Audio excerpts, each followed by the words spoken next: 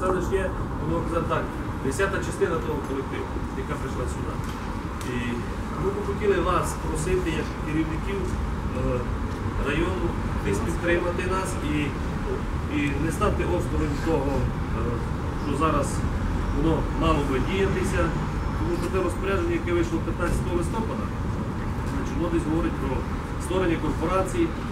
Ми всі знаємо, що за собою ведуть ті корпорації. Тобто роздержавлення державних лісів, е, значить, е, будемо говорити про те, що практично е, перекреслити всі державні підприємства лісовства, забути за них і так далі.